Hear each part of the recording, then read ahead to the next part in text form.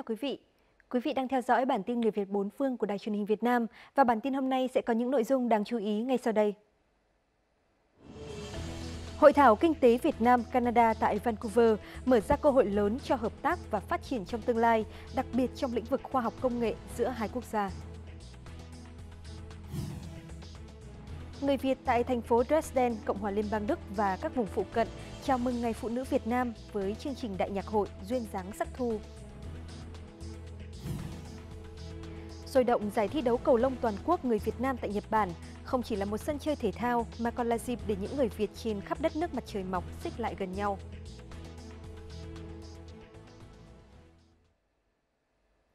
Sau đây là những thông tin chi tiết.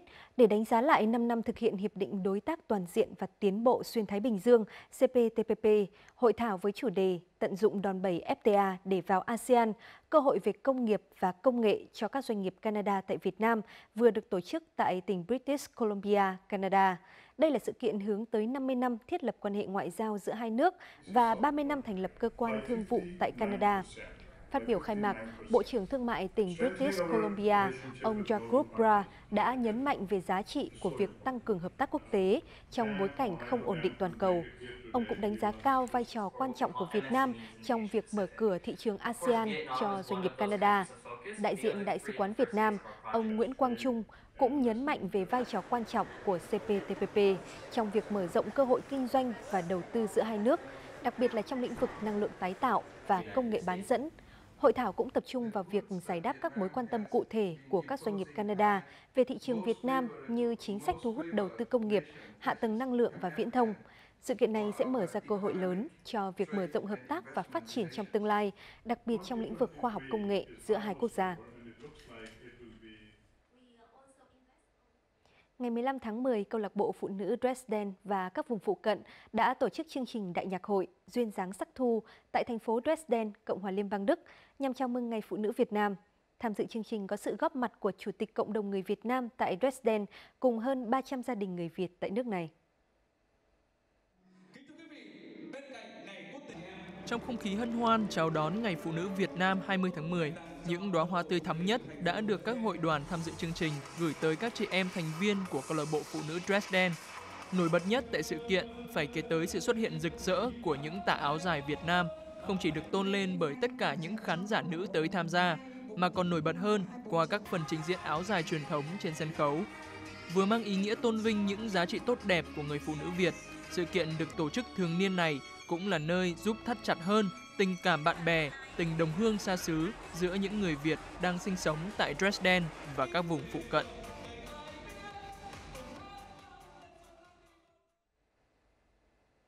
Cuối tuần qua, Hội hữu nghị Pháp Việt vùng Eure-Loire đã tổ chức triển lãm một ngày ở Việt Nam tại thành phố Vauvert, cách Paris khoảng 100 km về phía nam.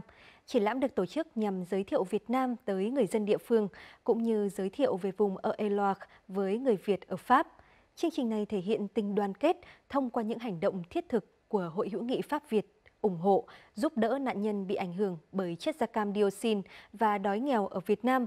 Lần thứ tư được tổ chức, triển lãm đã trưng bày, giới thiệu rất nhiều các tác phẩm sách, tranh và ảnh của các tác giả Việt Nam và tác giả địa phương với nhiều chủ đề khác nhau.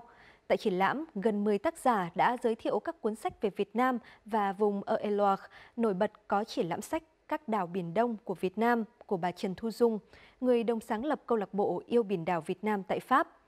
Thông qua triển lãm, bà mong muốn giới thiệu cho bạn bè quốc tế, đặc biệt là người dân Pháp về biển đảo và chủ quyền biển đảo của Việt Nam. Kỷ niệm 50 năm thiết lập quan hệ ngoại giao Việt Nam Nhật Bản, tổ chức giao lưu quốc tế Việt Nam Nhật Bản Favija dưới sự bảo trợ của Đại sứ quán Việt Nam tại Nhật đã tổ chức giải thi đấu cầu lông toàn quốc người Việt Nam tại Nhật Bản.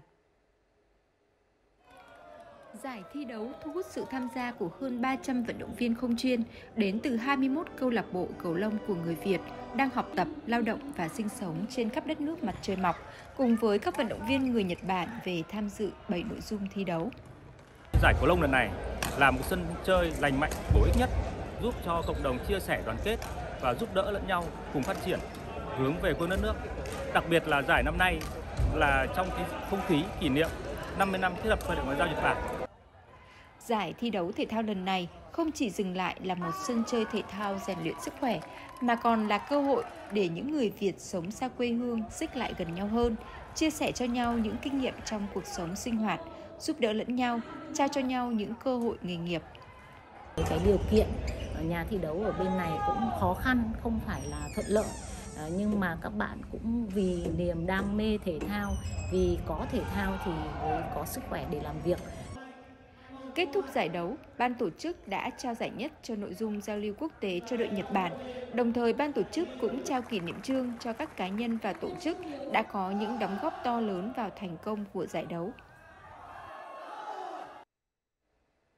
Hội thảo khoa học với chủ đề tiếp tục đổi mới sáng tạo tác phẩm văn học, nghệ thuật hay góp phần chấn hưng và phát triển sự nghiệp văn hóa, văn nghệ của đất nước đã được Liên hiệp các hội văn học nghệ thuật Việt Nam tổ chức vào sáng ngày 17 tháng 10 tại Hà Nội. Tham luận tại hội thảo đều chia sẻ thực tế những thành tựu văn học nghệ thuật chúng ta đạt được trong những năm qua, chưa tương xứng với sự nghiệp đổi mới đất nước, còn ít những tác phẩm đỉnh cao, những văn nghệ sĩ lớn. Hội thảo tập trung làm rõ những yếu tố làm nên tác phẩm hay, kể cả từ góc độ tài năng của nghệ sĩ, cũng như vấn đề vai trò của tổ chức hội văn học nghệ thuật các cấp, chế độ đãi ngộ. Song song với đó là khắc phục kịp thời những hạn chế, yếu kém trong công tác lý luận, phê bình, góp phần thúc đẩy văn học nghệ thuật có sự khởi sắc, từ đó góp phần chấn hương văn hóa, xây dựng con người Việt Nam trong thời đại hôm nay.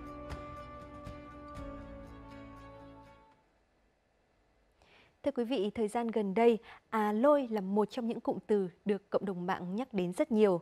À lôi hay à lôi nỏ là câu cảm thán đặc trưng của người dân tộc Tây, có nghĩa là hà hoặc trời ơi. Đây là cụm từ được biết đến rộng rãi sau khi nam rapper Bùi Xuân Trường, nghệ danh là Double Duty, biểu diễn ca khúc có tên À Lôi. Double Duty cũng là quán quân của cuộc thi rap Việt, được nhiều khán giả yêu thích. Điểm đặc biệt là hầu như các ca khúc được anh mang đến sân khấu đều sử dụng chất liệu văn hóa Tây Bắc, từ âm nhạc, nhạc cụ đến trang phục.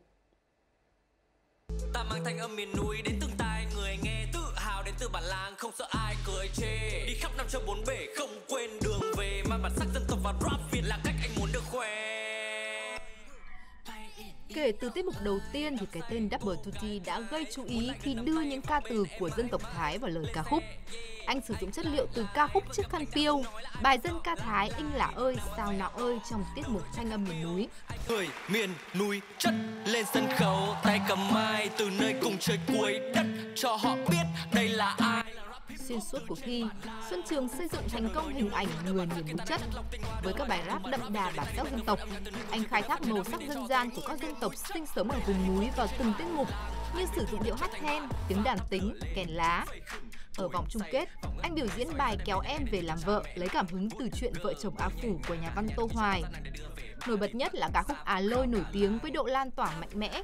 Chỉ sau 2 tuần, Á Lôi thu hút hơn 10 triệu lượt xem trên YouTube và hàng triệu lượt stream trên các nền tảng nghe nhạc trực tuyến. Là một người sinh ra và lớn lên ở một nơi có rất là nhiều những người à, đồng bào dân tộc anh em cùng chung sống với nhau và mình đã được à, tiếp thu những nét văn hóa từ rất là nhỏ và cũng là một người có khả năng sáng tác nữa nên là mình quyết định là đưa những cái yếu tố văn hóa Tây Bắc vào trong âm nhạc. Thì mình đã chất lọc những cái yếu tố đó mình đưa vào trong âm nhạc cụ thể là nhạc hiện đại hơn nhạc điện tử nhạc rap. Thì mình cảm thấy rất là vui khi âm nhạc của mình có thể à, lan tỏa đến các bạn trẻ. Luôn đoàn kết một lòng vì đây là người vùng cao, anh em chung một nhà kinh tế nùng dao, phát triển kinh tế xóa đói giảm nghèo, bắt tay chung sức và làm cùng nhau. Các ca khúc của Double Tutti còn gửi nhiều thông điệp ý nghĩa về cuộc sống, khát vọng theo đuổi ước mơ. Các sáng tác của quán quân rap Việt đa số đều lấy cảm hứng từ câu chuyện cá nhân về một chàng ca sĩ sinh ra tại núi rừng Tây Bắc, vượt qua nhiều khó khăn, chàng ca sĩ trẻ phát huy được những giá trị vốn có của bản thân để thành công. Sự thành công của anh cũng chính là câu chuyện truyền cảm hứng cho nhiều bạn trẻ. Có thể là mọi người sinh ra và lớn lên ở một nơi không có điều kiện bằng những nơi khác hoặc là ít có điều kiện để phát triển nhưng chỉ cần các bạn cố gắng thôi. Theo đuổi giấc mơ chăm chỉ vì thành công sẽ không tự đến tìm. Tay phải trên trán tay trái đặt lên tim vì có công máy sắt có ngày nên kim.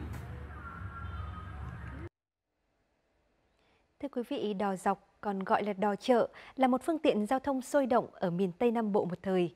Hình ảnh những chuyến đò dọc ngược xuôi kết nối các cù lao, cồn bãi xa xôi với chợ được xem là nét văn hóa đặc trưng, độc đáo của cư dân trên dòng Cửu Long. Thế nhưng giờ đây, những con đò dọc trở nên thưa thớt khi đường xá miền Tây ngày một hoàn thiện, người dân chọn phương tiện đường bộ nhanh hơn. Mời quý vị khán giả đến với một trong hai chuyến đò dọc cuối cùng trên sông Cổ Chiên tại tỉnh Vĩnh Long để nghe câu chuyện về cuộc sống mưu sinh trên sông nước cũng như sự gắn kết sâu đậm giữa con người với quê hương. Đây là chiếc đò dọc của anh Việt chị Thúy tại xã Hòa Ninh, huyện Long Hồ, tỉnh Vĩnh Long. Ngày hôm nay, sau mấy ngày đợi gom đủ hàng hóa để vận chuyển, anh chị lại tất bật khởi hành. Anh Việt chị Thúy đã làm công việc này được 25 năm. Chưa bao giờ anh chị lại lo lắng về tương lai của đò dọc như thế này. Lấy à, là à, 25 năm rồi. Hồi xưa là chạy à, một ngày là 4 chiếc, mà ở đây là 8 chiếc đò. Mà giờ bỏ trơn rồi, còn có hai chiếc à. Trước đây khi hệ thống cầu đường chưa phát triển, đò dọc là phương tiện vận chuyển hữu hiệu nhất ở vùng sông nước, vừa tiện lợi lại ít tốn kém. Đò dọc chở cả người lẫn hàng hóa. Những gia đình làm nghề đò dọc như anh Việt chị Thúy có thu nhập ổn định, dù không cao nhưng đủ để lo cho chi tiêu gia đình và con cái ăn học. Nhưng mọi việc giờ đã khác. 4 năm nay là không có chạy chở người nữa, chỉ chở đồ vậy thôi. Mà ngày nào ăn ngày nấy vậy đi, chứ không còn dư dả như hồi xưa nữa, chở có học sinh, có khách, có tiền. Hôm nay cũng là một ngày chở đò đặc biệt của anh Việt chị Thúy. Đã rất lâu rồi họ mới có một hành khách. Những ký ức về các chuyến đò dọc lại ùa về trong họ. Chứ ở đó thì chỗ này không là 8 chiếc đó. Ừ, chở khách, chở học sinh rồi đó. Đó, chở đông lắm rồi. Có hồi đó không có xe. Đi đò thì thường. Ta có nhớ ở đó không? Trời nhớ chứ, mà ăn hồi nào giờ cũng nhớ. Đối với rất nhiều người dân vùng sông nước miền Tây, đò dọc không chỉ đơn thuần là một phương tiện giao thông, nó chính là một trong những hình ảnh thân thương khi họ nhớ về quê hương, nhớ về những cố gắng trong cuộc sống mưu sinh. Anh Việt chị Thúy đã và đang gìn giữ hình ảnh đó và lan tỏa tình yêu quê hương đến mọi người. Đi đâu đi thì cũng về nhà quê hương trong nước mình à. Không có bỏ được. Bởi quê hương cha mẹ mình là ở đây. Mình sống nhờ cây, sống nhờ trong nhờ nước mà mình phải yêu hết. Nếu mình không yêu nước thì làm sao mình đi xuống tàu, sao mình chạy.